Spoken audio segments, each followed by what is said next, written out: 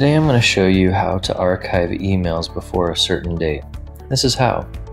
You go to Gmail or mail.google.com and in the search you're going to type in before colon you're going to type the year slash a two-digit month if it's September you'd type 09 slash the day in two digits if it's the 13th or the 14th, you type that, and then you press enter to search for emails before that date.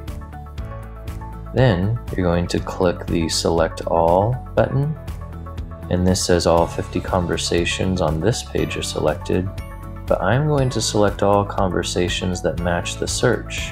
That means all conversations before September 14th, 2019.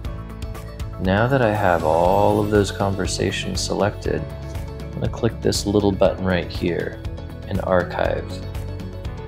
Then it's going to say confirm bulk action. This action will affect all conversations in this search. Are you sure you want to continue? Do I want my email to go to zero? Okay. Then it's going to have a loading icon at the top because it has to take those 1500 emails that were in my inbox and move them all into archive. And that means they're going to be in the all mail.